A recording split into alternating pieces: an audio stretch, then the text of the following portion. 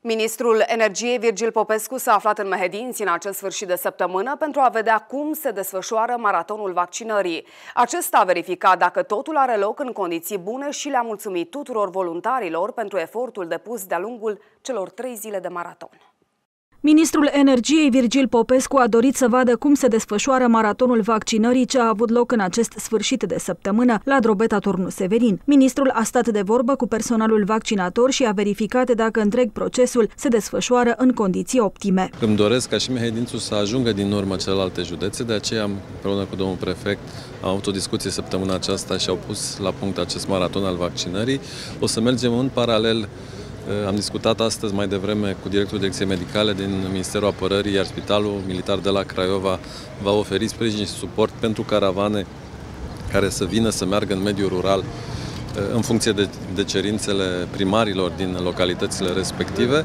Îmi doresc, practic, să venim în întâmpinarea tuturor care doresc să se vaccineze. Este binevenit sprijinul din partea oricui care dorește să ne ajute să promovăm vaccinarea. Noi credem în vaccinare și credem că este singura posibilitate prin care noi putem să ne reluăm viața dinainte de pandemie, ne putem îmbrățișa, ne putem bucura că ne întâlnim, putem avea din nou evenimente. Și parlamentarii liberali au venit la locul desfășurării maratonului vaccinării pentru a verifica dacă totul se desfășoară în condiții bune. Mă bucur că cât oamenii au înțeles că trebuie să vină să vaccineze. Am spus-o de fiecare dată că uh, trebuie să avem încredere în vaccin și că vaccinul a fost și este o soluție pentru o astfel de, de, de boală.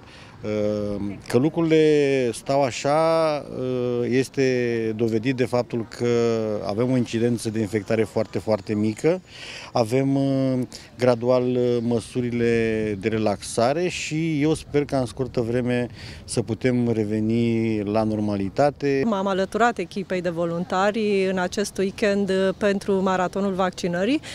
Sunt de dimineață, de la 8, asigur sunt în echipa din prima tură. Uh, s-au prezentat până în momentul de față și este ora aproape 13, 230 de oameni care au dorit să se vaccineze.